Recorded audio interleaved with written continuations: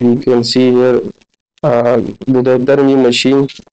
If it is uh, away from the patient, then make uh, reach of that uh, machine to the patient and then adjust the pad. You can see here that these are the cables. Uh, you will place it inside the pads and, the, uh, and then place it in the coplanar method.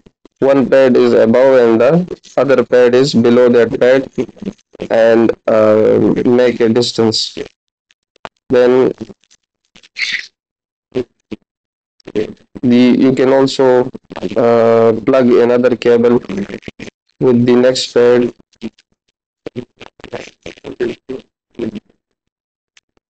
before applying the apparatus you should uh, check the cables properly that it's working or not.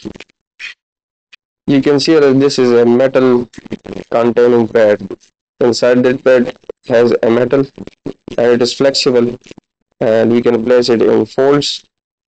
This will gives the therapeutic effect to the patient. Now here you can see that it is a knob. The two knobs are here. One for the intensity one for the frequency that how much frequency the patient needs. So you will make a first click uh, hold it for three seconds. The bulb will on and uh, after three seconds then make another click. And uh, the bulb will on and also it will uh, then after that you can make a third click and continuously watching the detector. The detector will give you the detection. Uh, make it up to 100 or you can give up to 1.5 not more than that and you should check the detector when you are setting the frequency of the machine.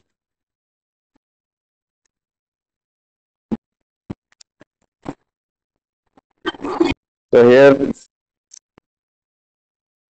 you can slowly increase the frequency and watching continuously to the patient and ask the patient that if he's uh, feeling well or not or if the heat is uh, not exceeding more than his uh, condition that he can bear.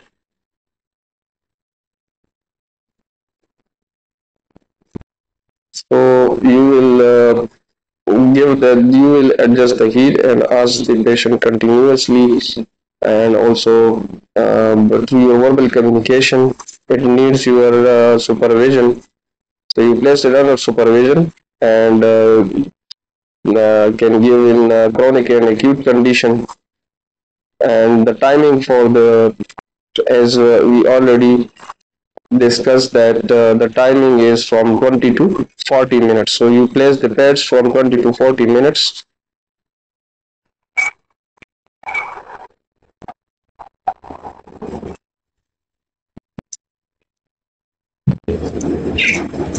so uh, these are different types of pads large pads medium pad and small pad you can adjust according to the your skill. And uh, the large area required larger pads the medium area requires medium pads and the small area requires smaller pads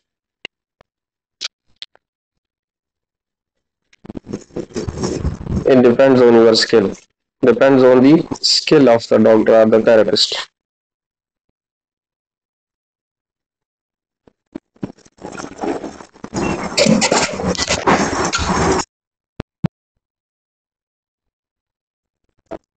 so similar that you can use it for the back pain. Uh, also you can use it on the buttocks. Also you can uh, in the coplanar method also you can use in the lower limb thanks